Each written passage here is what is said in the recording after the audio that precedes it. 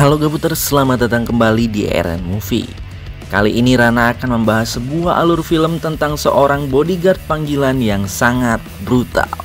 Baik, tanpa banyak ngangengong lagi, langsung saja renggangkan badan, hembuskan nafas, dan markijo. Mari kita lalajo. Silent.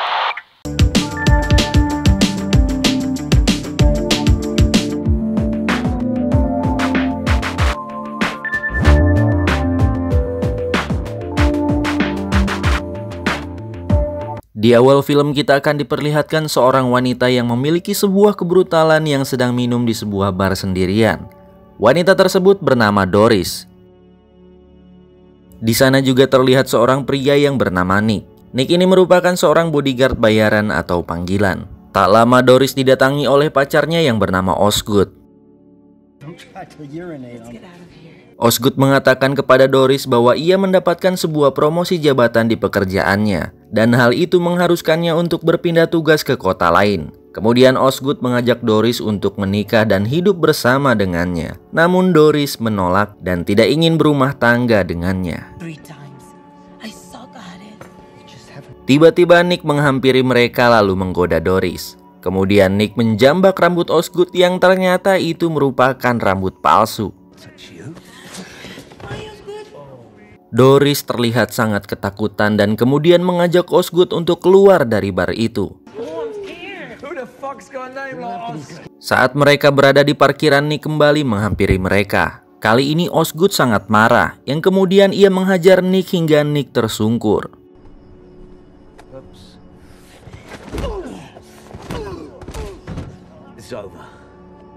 Doris yang melihat hal tersebut pun merasa sangat kagum terhadap Osgood. Dan akhirnya ia pun setuju untuk menikah dengan Osgood dan ikut dengannya untuk pindah ke kota lain. Di sisi lain terlihat seorang wanita yang dibuang di depan rumah sakit dengan keadaan sekarat. Kemudian wanita tersebut ditemukan oleh perawat di sana. Dan saat di dalam ruang perawatan wanita tersebut berulang kali menyebutkan nama Nick.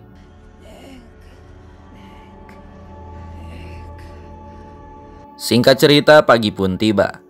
Nick terlihat mendatangi kantornya dan tak lama kemudian datanglah seorang klien yang bernama Cyrus. Cyrus ini mengaku sebagai pejudi yang sangat kaya raya, yang akan menyewa Nick sebagai bodyguardnya. Awalnya Nick sempat ragu kepada Cyrus, namun karena Cyrus terus memaksa akhirnya Nick pun menyetujuinya.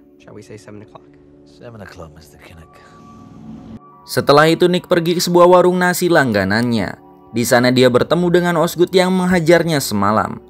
Ternyata Osgood merupakan sahabat baik dari Nick yang mana ia telah meminta bantuan dari Nick untuk mendapatkan perhatian dari Doris. Di sana Osgood pun memberikan sejumlah uang kepada Nick. Namun Nick menolak untuk mengambil semua uang tersebut dan hanya mengambil sebagiannya saja karena mereka adalah teman baik. Di dalam warung nasi tersebut sang pelayan menyambut Nick dengan baik dan mereka terlihat sudah sangat akrab. Kemudian Nick bercerita kepada pelayan tersebut bahwa dia bermimpi untuk hidup di sebuah pulau di Korsika yang berada di Perancis. Nick ingin hidup tenang di sana karena ia sudah sangat bosan dengan kehidupannya di Las Vegas. Dan jika ingin hidup tenang di sana, ia membutuhkan sejumlah uang sebanyak 500 ribu dolar untuk bekal hidupnya selama lima tahun. Sedangkan uang yang dimilikinya saat ini sangat jauh dari angka tersebut. Tak lama setelah itu Nick mendapatkan pesan dari temannya yang bernama Holly dan Nick pun diminta untuk datang ke rumahnya. Ternyata Holly adalah wanita yang ditemukan sekarat di depan rumah sakit kemarin. Holly pun bercerita kepada Nick tentang kejadian di malam itu. Seperti biasa Holly melayani klien-kliennya di hotel malam itu. Namun setelah pulang dia bertemu tiga orang laki-laki di dalam lift. Satu orang bertubuh pendek yang terlihat berlaga seperti bos. Dan dua orang bertubuh besar yang sepertinya merupakan anak buahnya. Holly pun diajak ke sebuah kamar dan dipaksa untuk melayani pria tiklot tersebut, letik-letik kolot. Kemudian Holly dihajar oleh dua anak buahnya agar tidak bisa melapor kepada siapa pun. Setelah itu mereka membuang Holly di depan rumah sakit. Holly pun meminta Nick untuk mencari tahu siapa ketiga orang tersebut dan ingin menuntutnya di jalur hukum. Nick yang mengetahui bahwa hotel yang dimaksud Holly adalah tempat sarangnya mafia, Nick pun langsung menolaknya karena dia tidak mau lagi berurusan dengan para mafia. Nick ingin fokus mengejar hidup damai di Pulau Korsika. Namun pada akhirnya Nick pun yang tidak tega melihat temannya yang telah diperkaos akhirnya dia menyetujuinya. Setelah itu Nick pergi ke hotel tersebut lewat jalur belakang karena ia memiliki orang dalam yang mana dengan kekuatan orang dalam semua pun bisa dilakukan. Dia menemui teman lamanya yang bernama Millie. Nick meminta bantuan kepada Millie untuk mencari tahu siapa yang telah menganiaya Holly di hotel tempat ia bekerja. Lalu Millie meminta Nick untuk menemuinya di tempat makan langganannya sore hari. Dan kemudian mereka pun bertemu. Lalu Millie mengatakan seseorang yang telah menganiaya Holly bernama Denny DeMarco dan dua orang lainnya adalah anak buahnya. Denny sendiri merupakan seorang anak dari seorang mafia Italia yang cukup berpengaruh di Las Vegas dan Millie menyuruh Nick untuk tidak berurusan dengan mereka. Malam harinya terlihat Nick sedang bekerja bersama kliennya yaitu Cyrus. Nick membawa Cyrus keliling Las Vegas.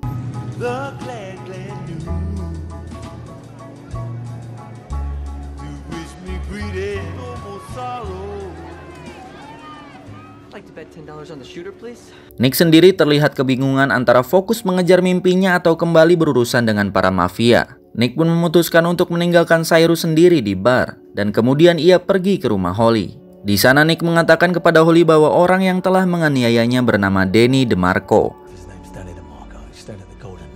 Holly pun meminta kepada Nick untuk membantunya membalaskan dendamnya kepada Denny. Nick pun dengan tegas menolaknya. Holly yang mendengar hal tersebut, ia pun kemudian mengungkit masa lalu Nick, di mana Holly menolongnya saat Nick sedang terpuruk. Akhirnya Nick pun menyetujuinya karena ia merasa berhutang budi kepada Holly. Setelah itu Nick pun bergegas pergi ke tempat kediaman Denny. Sesampainya Nick mengatakan kepada anak buah Denny bahwa ia memiliki urusan dengan Denny, perihal seorang wanita atas suruhan Baby, yang mana Baby merupakan seorang bos mafia yang cukup berpengaruh di Las Vegas. Mendengar nama Baby, Nick pun dipersilahkan masuk untuk menemui Denny. Di sana Nick pun mengatakan keinginannya dan tujuannya. Denny menyangka bahwa Nick merupakan orang suruhan Holly yang ditugaskan untuk berusaha memerasnya lalu Denny menodongkan pistol ke arah Nick. Nick yang tak ingin ada sebuah keributan pun ia memutuskan untuk pergi dari sana. Namun Denny mengatakan kepada Nick bahwa ia akan memberikan pelajaran kepadanya karena telah berani mengusiknya. Dan kemudian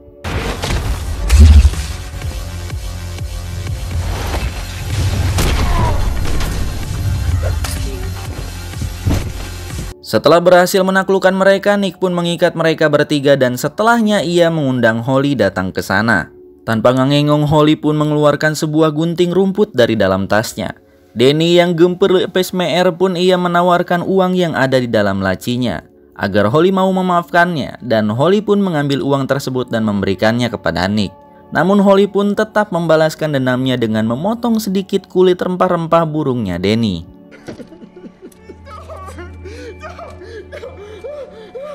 Dan dua bodyguardnya pun tak bisa berbuat apa-apa. Setelah itu mereka pergi meninggalkan Denny dan anak buahnya. Sesampainya di luar mereka pun membagikan uangnya. Holly memutuskan akan pergi dari Las Vegas malam itu juga. Karena ia sadar bahwa Denny tidak akan membiarkannya hidup jika ia tetap berada di kota tersebut. Dan Nick pun berpikir begitu. Namun sebelum meninggalkan kota itu, Nick pergi ke sebuah kasino dan berharap bisa menggandakan uangnya. Setelah berada di kasino, keberuntungan Dave Fortuna sedang berada di pihak Nick. Ia terus-menerus memenangkan permainan yang ada di kasino. Cyrus pun berada di sana. Dia melihat Nick yang terus-menerus menang sampai-sampai sang bandar merasa kebingungan. Pada malam itu Nick pun berhasil menggandakan uangnya dari 25.000 dolar menjadi 560.000 dolar, yang artinya uang tersebut cukup untuk memenuhi mimpinya. Sebelum menukar koin tersebut, Nick berbincang dengan Cyrus dan mengatakan tentang mimpinya. Kemudian Nick pun menuju loket untuk menukarkan koinnya. Namun tiba-tiba ia membatalkannya dan akan mempertaruhkan semua koinnya agar dapat menggandakan kembali uangnya. Nick mengatakan kepada Cyrus bahwa jika Nick menggunakan uangnya sekarang maka setelah lima tahun dia harus kembali lagi ke tempat ini. Maka dari itu Nick akan mencoba menggandakan uangnya kembali agar ia bisa hidup lebih tenang di tempat impiannya. Akhirnya Nick pun mempertaruhkan semua uangnya dalam satu kali permainan. Namun sayangnya pada permainan itu Nick mengalami sebuah kekalahan.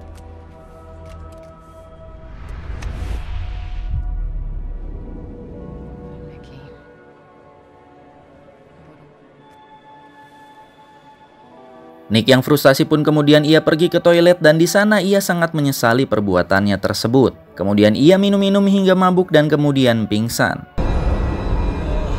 Ketika ia terbangun, ia melihat ia sudah berada di ruangan VIP kasino itu. Di sana pun ada Cyrus yang kemudian ia bercerita tentang tujuannya datang ke kota ini. Yang ternyata Cyrus bukanlah seorang pejudi, melainkan seorang developer sukses di usianya yang baru menginjak 19 tahun. Cyrus datang ke kota tersebut untuk belajar sebuah arti keberanian karena Cyrus merasa dirinya adalah seorang penakut. Dia mendatangi Nick untuk belajar menjadi seorang pemberani. Kemudian Cyrus mengajak Nick untuk berkeliling dunia dengan seluruh biaya yang ditanggung oleh Cyrus.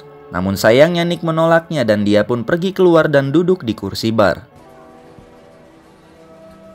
Setelah itu datanglah pria suruhan Denny untuk menghajar Nick. Lalu kemudian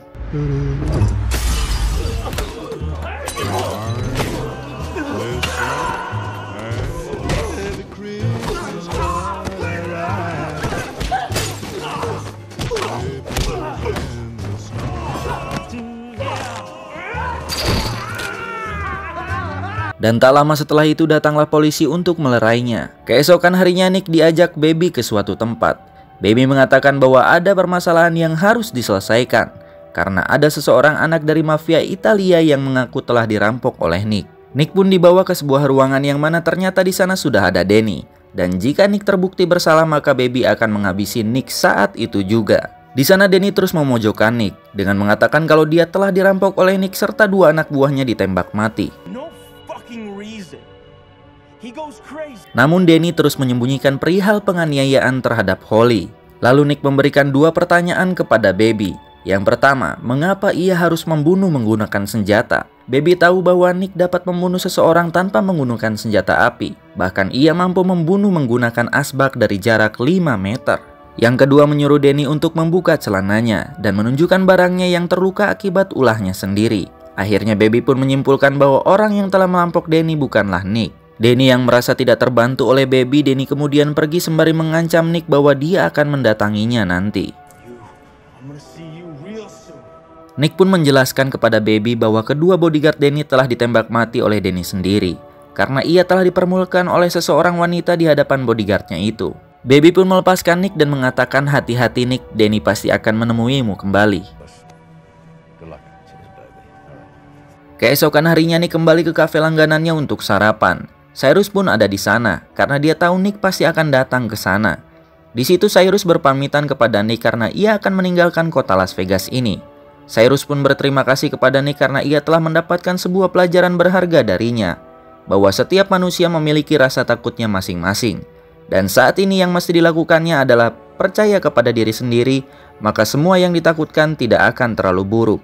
Cyrus pun memberikan hadiah kepada Nick yaitu sebuah tiket pesawat ke Korsika beserta cek yang berjumlah 500 ribu dolar.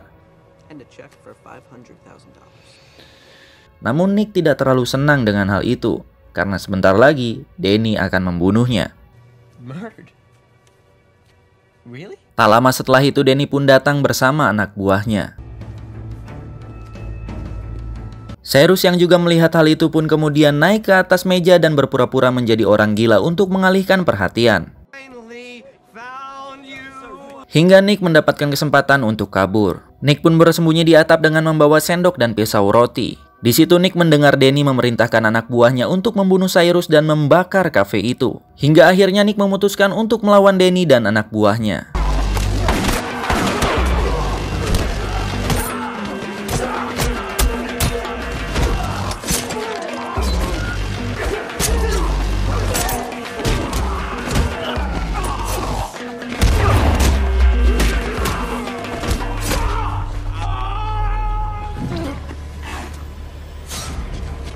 Nick pun akhirnya berhasil menghabisi mereka semua. Setelah membereskan semuanya, kemudian Nick dihampiri oleh Cyrus yang memaksanya menerima sebuah hadiah darinya. Nick yang terus dipaksa pada akhirnya menerima hadiah tersebut.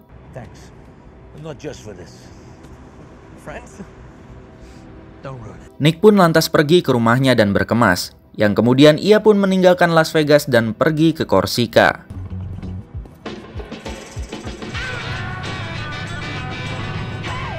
Dan film pun berakhir. Terima kasih buat kalian yang telah menonton video ini. Saya doakan semoga kalian semua diberikan rezeki yang berlimpah dan selalu diberikan kesehatan. Sampai jumpa di video-video selanjutnya. Salam RN Movie.